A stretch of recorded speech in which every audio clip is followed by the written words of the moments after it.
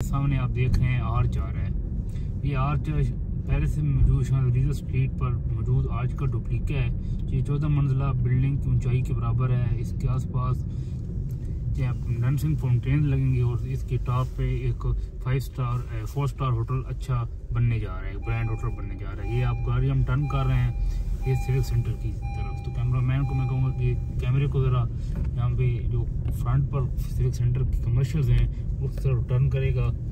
ये आपको नज़र आ रहे होंगे ये फैसल हेद के मेन सिविक सेंटर का फ्रंट है।